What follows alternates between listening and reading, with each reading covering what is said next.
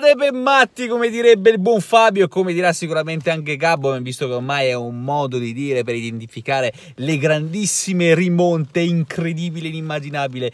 Che cosa è accaduto all'Anfield Road? Il Barcellona per il secondo anno consecutivo la via Nerderetano, ragazzi, si fa recuperare pure quest'anno, incredibile. Io non vorrei essere in questo momento un tifoso del Barcellona, o meglio, lo vorrei essere per i titoli che ha vinto, compreso anche quest'anno, visto che si è portato a casa anche il campionato, ma in generale in Champions League ultimamente per il Barcellona direi che sono veramente, come posso dire, eh, dei bruciori molto molto molto importanti nella zona bassa e eh, del posteriore, ecco, del corpo, ragazzi, veramente incredibile. Si è fatta recuperare pure quest'anno, stavolta si è fatta recuperare dal Liverpool del mago Klopp, che per il secondo anno consecutivo è in finale di Champions League. Poi non venitemi a dire che l'allenatore non è importante in una squadra. Un allenatore come Klopp che col Borussia Dortmund ha fatto cose assurde, è andato in Inghilterra e zitto zitto 4-4.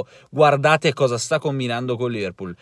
L'anno scorso non è riuscito a portare a casa la Champions, eh, complice il fatto di non avere un grandissimo portiere e il fatto che il Real Madrid era effettivamente una squadra troppo più forte. Quest'anno ha delle grossissime possibilità di portare a casa questo trofeo, visto che dall'altra parte in finale molto probabilmente prenderà o l'incredibile Ajax, che non va assolutamente sottovalutata, anzi io ti farò Ajax nel caso, o addirittura il Tottenham, però tra le tre, ecco, la squadra superiore dovrebbe essere il Liverpool. Eh, ragazzi, Klopp poi quest'anno con Liverpool sta facendo cose assurde, cioè è in lotta per arrivare a vincere la Premier League con oggettivamente, ragazzi, una squadra che non è, parliamoci chiaro, non è così tanto forte, dai. I giocatori, certo, in Italia magari sarebbe una squadra equiparabile, eh, sì, al, forse un po' più forte del Napoli, e poco poco meno forte della Juventus, ecco se così possiamo provare a dire, però comunque non è una squadra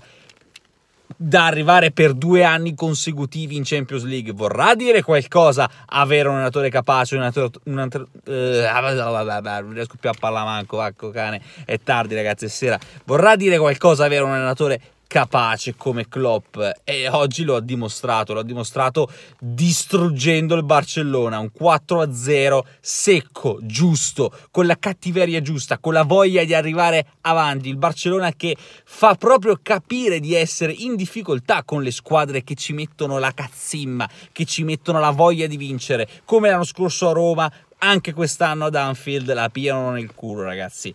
4-0 addirittura, cioè dopo il 3-0 della Roma questo fa ancora più male, perché era praticamente fatta 3-0, cioè potevano vincere solo 4-0 per passare e hanno vinto 4-0, cioè gli hanno fatto anche uno in più rispetto alla Roma.